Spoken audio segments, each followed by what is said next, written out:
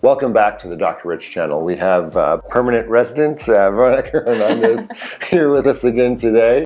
Uh, so TikTok is the biggest social media platform on the planet these days, and there's a lot of information and misinformation out there. So we're gonna watch TikTok videos about endometriosis and stick around to the end to find out what's the number one thing you need to know about endometriosis. Three things people with endometriosis should know.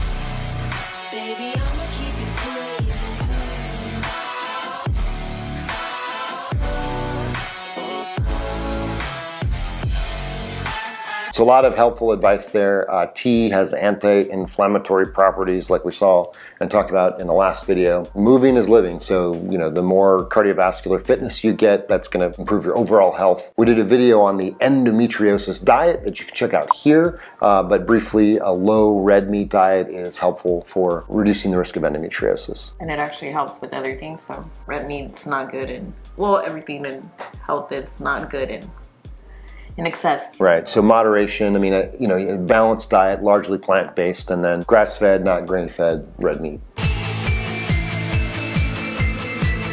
I got my sights set on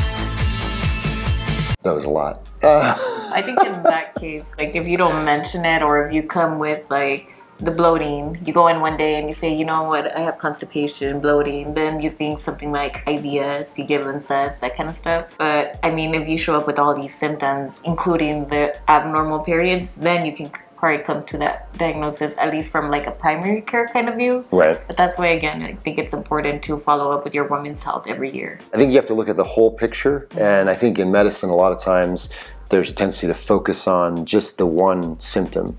Uh, so, exactly like you said, if you have painful urination, painful bowel movements, chest pain, and all of these are related to your period, that makes it um, much more likely, if not definitively, endometriosis. Now, these symptoms occur throughout the month with no bearing on the period.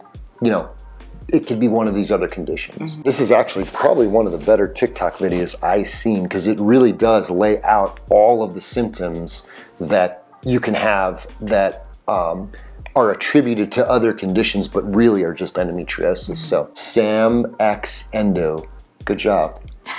and as promised, the one thing that you should know about endometriosis is that it can be anywhere with any different symptoms, and if you're not getting the answers that you want, seek a specialist.